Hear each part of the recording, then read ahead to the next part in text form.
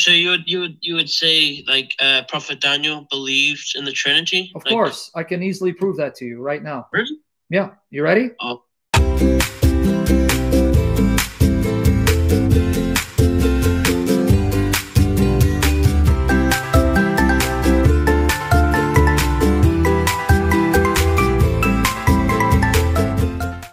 But I, I want to show you something. Do you have a Quran with you? Uh, yes. Yeah. Okay, can you go to chapter 22 of the Quran? Chapter 22 of the Quran. Al Hajj, right? Yeah, uh, when you Surah Al-Hajj, can you read verses 6 and 7? Yeah. It is. Um, uh, that is because Allah alone is the truth. How He many are the truth? The. Before you move on, how many are the truth? Allah is the tr- alone, alone. Allah alone's the truth. Now keep reading. He alone gives life to the dead, and He alone is most capable of everything. Okay, so who alone gives life to the dead? Uh, Allah, yes. Now read verse 7. And certainly the hour is coming. There's no doubt about it. And Allah will surely resurrect those in the graves. So pay attention to what your Quran said. Allah alone's the truth. He alone gives life to the dead. And the hour is coming. Allah will raise them out of their graves, right? Yes. Yeah. And now go to John 5 21. I know you're gonna say you're gonna say that these are the words Jesus says, and Jesus is gonna perform these actions, right? Okay, so now explain to me how can Jesus claim the things that your Quran says only Allah can do? Yeah, yeah. I um, I understand that would that. That's why I don't reject uh, the Bible saying that uh, Jesus is God necessarily. Okay, It's just that question I had in mind. so it's uh, clear then. I- So before you ask me another question, so you got it. Jesus says, just as the Father raises the dead and gives them life, so too the Son gives life to whom he wills. And then he says, The hour is coming, and it is now, when the dead will hear the voice of the Son of God, and those who hear will live. And then he says, The hour is coming when all who are in their graves will hear his voice and come out. So you you clear and you see Jesus is claiming the things that even your Quran says only God Almighty, not a creature, can claim, right? Yeah, yeah, And then also in John 14, verse 6, where Jesus says, I am the way and the truth and the life. No one comes to the Father except through me. So he's the truth and he's the life. The very things the Quran says are true of God alone, right? yeah. So then, if Jesus has already said all that, why then would you be surprised that after the resurrection, when he's still flesh, with a glorified body of flesh, that Thomas could then say, My Lord and my God, when all throughout the gospel, John, the writer, is preparing you for the climax that Jesus has gone out of his way to show, I'm not the Father. I'm the Father's Son who's equal to the Father in essence, in nature, in power, and glory, and ability, who also became man. Therefore, at the climax, you have now Thomas making the full Christological confession that John is preparing you for all throughout those chapters that he is the Lord God who became flesh, though he's not the Father and not the Holy Spirit. Yeah. Uh, I don't really have an answer to this. Now, do you? Uh, here's the final one I want to ask you about. According to chapter 57, verse 3 of the Quran, 57, verse 3, it says, He is the first and the, uh, the last, the inward and the outward, and He knows all things. Allah is the first and last, al awwal wal akhir, right? Yes. So now you agree that this is true only of Allah because to be the first and last means you were there from the beginning with the first of them, and you'll be with the very last generation of creatures, right? Yes. Yep. That means Allah's timeless and eternal, right? Because for him to be there at the beginning, at the start, and for him to remain till the end, that means he's outside of time, the creator of time, and can therefore be with us throughout all time, right? Yeah. Yeah. So, so it basically, first last means one who's eternal, right?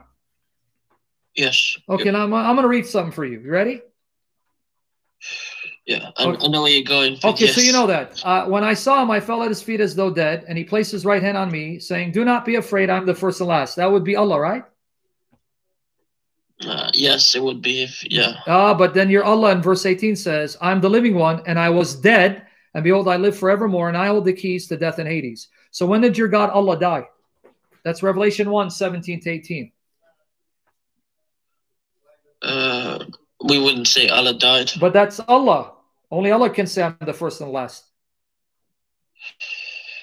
Yeah. Like I said, I, I don't deny that the Gospels and the epistles and so on uh, portray Christ as, as God. But that's Uh, the words of Jesus. Jesus is claiming that. So you do admit that as far as the New Testament's concerned, Jesus claims to be God Almighty in the flesh. yes, in its lens. Yes, of course. Okay, good. yeah. So then, w- how, how sharp is Hashem in bringing up this objection when the objection is pathetic and easily refuted? Mm.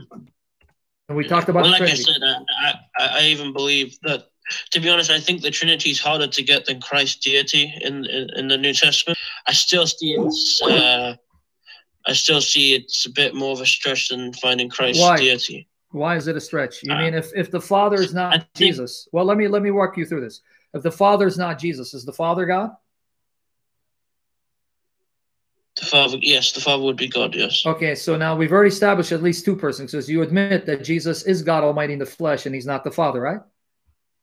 Yeah, like I said, you could find like the Father's God, the Son's God, the Holy Spirit's one, but couldn't you just say, well, that it's modalism then, right? Uh, how is it when they're talking to one another, loving one another, interacting with one, one another, and one sends the others? So you're saying it's play acting?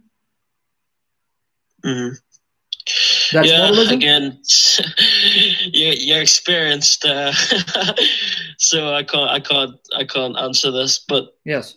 So, um, but you. So then, let's let's before you move on. Hold on. So the Father is not the Son. The Son is not the Spirit. Spirit's not the Father. They love one another, communicate to one another, and send one another. So unless G- God is a, is deceiving us or he's schizophrenic, it's not the same person. But you do admit the Father is God, the Son is God. So do you have any doubt that the Holy Spirit is also God? Because I'll show you that very easily from the Bible and the Quran. I'll even use your Quran to show the Spirit is God, even though I don't believe the Spirit of the Quran is the same Spirit. no, I know that in Acts, uh, No, not Acts. Yeah. That's to me. I don't even use Acts. Acts, I think, is the weakest case. Oh, really? Oh, okay. Yeah. Uh, well, yeah, like I said, okay, you could you could find it in there as well. Okay. So what, what's stopping you from following a religion that's so opposes and contradicts the Bible, not just New Testament, but the Old Testament? Why follow a man? What? I think, yeah, I think, like I said, it's the um, uncontinuity between the old and the new, and the Wait, manuscripts. wait, wait. Oh, do, do, do it. You didn't hear what I said. The discontinuity between the Old and the Quran. The Old Testament buries the Quran. The Quran doesn't agree with the Old Testament. In what way? Uh, believe in uh, in one person, one God. Uh, Can I? I will challenge you to show me in the Old Testament where it says that the one God is one person. But let's go with that. In the Old Testament, that God is the Father of Israel. Is Allah your God, the Father of Israel? Uh, we wouldn't say Father, no. Okay, so that's one discontinuity. In the Old Testament, the God of Israel appears as a man quite often. Does your Allah appear as a man? But doesn't like people like Saint Augustine say it was um it was an angel rather than um Okay, uh, so you're appealing to Augustine, a Trinitarian, to talk about the angel of the Lord, who's not a creature, who's the second person of the Godhead, to explain away just the Old Testament. I just went to the Old Testament. I didn't give you a church father to tell you what the Old Testament means. The Old Testament tells us they saw the God of Israel. Jacob wrestled with God. Isaiah saw Jehovah. And Daniel saw the Ancient of Days. So, do you agree that your Allah can appear as a man, an older man with white hair and a robe? And do you believe that your God Allah can appear as a man and wrestle with Jacob? Okay, let's say that the Old Testament um it shows that the incoming of Christ, right? It shows the um. No, like I'm a- talking about God pattern. Himself appearing. I didn't even say about coming of Christ. I said God appearing. So, you would you would you would say like uh, Prophet Daniel believed in the Trinity? Of course, I can easily prove that to you right now. Really? Yeah, you ready? Because I, I know a lot of Christians who would say it was just a, a progressive revelation, and uh, Do you want me to prove it to you? they- You can tell me whatever. I don't. I can give you fifty thousand Christians with fifty opinions. Do you want me to show you from Daniel the Trinity? uh, yeah, go on then. May as well for go education. to go to Daniel seven. Open it up for me. Go ahead, Daniel seven. Uh, this is the Son of Man, right? Yeah, not only Son of Man. How many persons does he see? You keep Son of Man, but did you forget the Ancient of Days? Okay. I'm in Daniel 7. Okay, read it for me. In the first year of Belshazzar, king of Babylon, Daniel, Daniel had a seven verses nine to ten. Sorry, the verses nine to ten. Daniel seven verses nine Oh. to ten. As I looked, thrones were set in place, and the Ancient of Days took his seat. Okay, now His you're reading too fast. white- Before you read too fast, how many thrones? One or more than one? Thrones, so plural, Okay, so thrones, pay attention. I'll keep reading. were set in place, and the Ancient of Days took his seat. So how many seats did he take, the Ancient of Days? One. Okay, keep in mind, Ancient of Days. Now, does this Ancient of Days appear visibly? Let's see. His clothing was as white as snow. The hair of his head was white like wool. Oh, so he has hair? His uh, it's just so here. Yes. So he has white hair, huh? Like an older man? If you want to label an anthropomorphical language Oh, to it, whatever you yeah. want to label it, dude, he's still seeing it, right? Yeah, in his vision, yeah. So he's seeing an older man with white hair and a, a robe on a throne, right? Yes. Okay, now keep reading. His throne was flaming with fire, How many thrones? His thrones or his throne singular? singular. Uh, But he saw more than one throne, right? Beforehand, yes. But o- but the ancient days only takes one throne, right? Yes. Okay, keep now keep finish it because I want to make sure you're getting it. And its wheels were all ablaze. A river of fire was flowing, coming out from before him. Thousands upon thousands attended him. Tens thousand, ten times ten thousand stood before him. Now this is talking about the angelic host standing in attention to receive orders from this one, right? The ancient Okay, days. yeah. Now, this ancient of days, and I'm going to show you, and I, I I think you see it, is God Almighty. Does your God Allah appear in visible form on a throne with white hair and a white robe, and multitudes stand before him? No, uh, Hmm, I they see. wouldn't. We wouldn't see this. Okay, so now that's one. Now let's go to person number two. Read now, same chapter, Daniel 7, read 13 and 14. In my vision at night, I looked, and there before me was one like a son of man, coming with the clouds of heaven. He approached the Ancient of Days How many is that? and was led in. How many is that? The Son of Man approached who? The Ancient of Days. Count. Son of Man is one, Ancient of Days is another. How many is that? Well, that's two now. Okay, keep in mind. So the Son of Man enters the presence of the Ancient of Days. He was led into his presence, and what was given to him? He was given authority, glory, and sovereign power. All nations and peoples of every language worshipped him. His dominion is an everlasting dominion that will not pass away, and his kingdom is one that will never be destroyed. Now, you really baffled me. This is an Old Testament passage long before the New Testament. Daniel sees thrones. One is occupied the Ancient of Days, the other is given to the Son of Man. How do I know? Because you can't have a kingdom without a throne, right? Yes. How long does the Son of Man reign?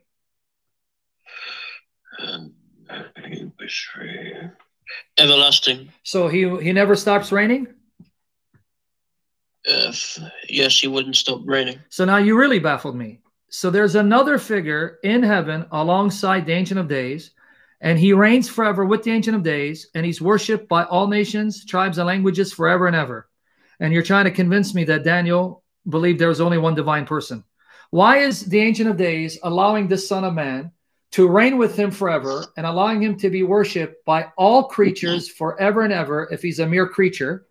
And how's this compatible with the Quran? Because you said the Old Testament uh, discontinuity, discontinuity with the New Testament. Are you saying this is compatible with your Quran? Uh, no. Okay, now let me show you person number three. That was two so far, right? Yeah. Now go to Daniel 5, 11, and 14.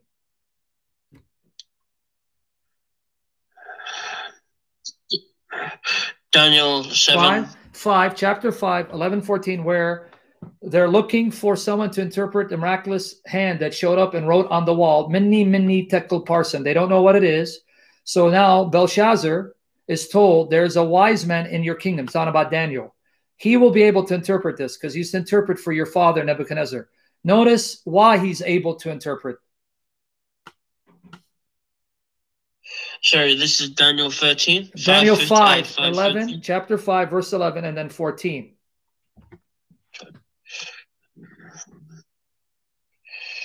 There is a man in your kingdom who has the spirit of the holy gods in him. Now, remember, In this the- is reflecting their pagan understanding, right? It's not really the Uh, holy God's spirit that's in them. It's the spirit of the holy God, right? Yes, because they're in Babylon, right? Yes, right. So, but they realize the spirit is in him, revealing mysteries, meaning the spirit is all knowing, isn't he? Because the spirit reveals to Daniel things that even the gods and goddesses of the pagans are incapable of doing, right? Uh, The uh, spirit of the holy gods, so far, right? In whom? In him is the spirit of the holy gods, right? in him, yes. And what does that spirit give him? Finish it. In the time of your father, he was found to have insight and intelligence and wisdom like that of the gods. So wait, who's enabling Daniel to have wisdom that's divine, that's otherworldly, that's blowing the minds of these magicians, sorcerers, and diviners? Who's giving Daniel that wisdom? I'm not sure. Read it, it's I right there. No, it's right there. Notice the causal connection. The spirit in him.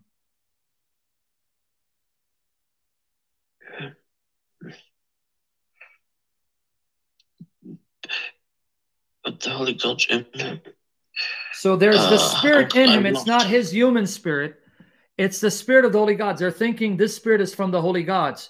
No, it's not from the holy Oh, gods. Yes, yes. It's like uh, it's not his spirit, but something else. Yeah, so it's the spirit of the one true holy God, right?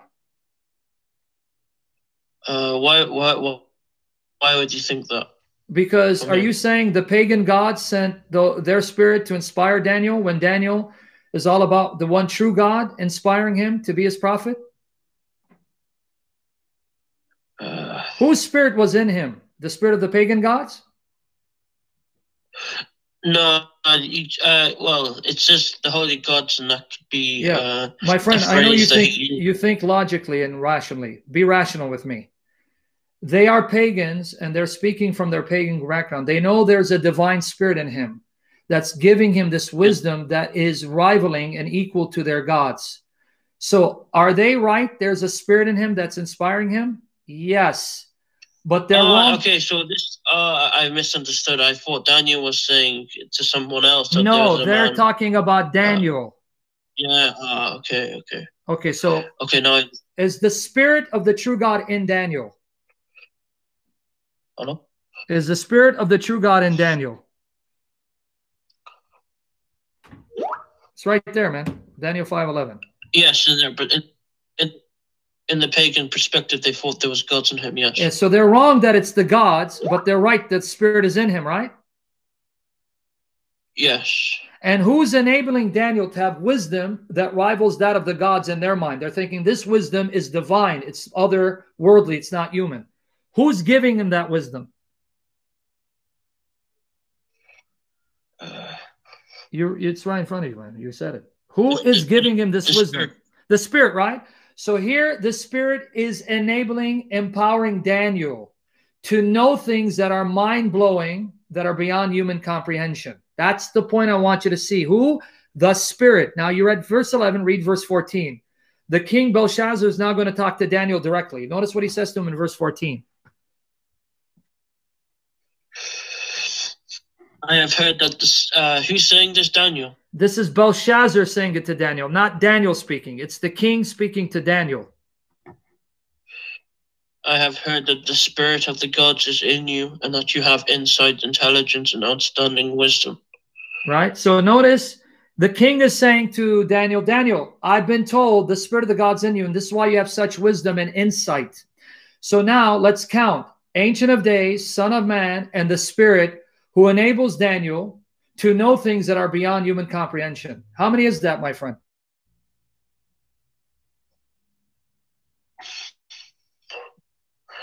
Can you count for me? Mm, I just. Uh, free, but But what? what, hap- what happens if the uh, the the king, the, uh, the the Babylonian king, was just uh, uh, like uh, wrong, right? I mean, and so Daniel doesn't uh, rebuke him. Can you now read on tell me where Daniel says, Shut up, king, you're wrong. You don't know what you're talking about. Read 15 on. Give me Daniel's response. Let's play your game and see. and and why would the spirit necessarily have to be a distinct spirit hypostasis? Like Even better. Let's be go with it. Let's go with it. So then God himself is indwelling Daniel. Is that what you believe? Does Allah do that for you? Let's run with your logic. So God himself is in Daniel, indwelling him and empowering him. Is Allah in you? No, but could he not inspire him? Okay, but it says the Spirit is in him, inspiring him. So if it's not a distinct person from God, then you end up with God Himself indwelling Daniel to empower him. So does Allah indwell you? No. So then you give me further proof that Daniel buries your Quran. It's not an agreement, Yeah. right? Yeah. And yet you have a problem with the Old Testament supposedly being discontinuous with the New Testament, but it never bothered you that the Old Testament contradicts your Quran.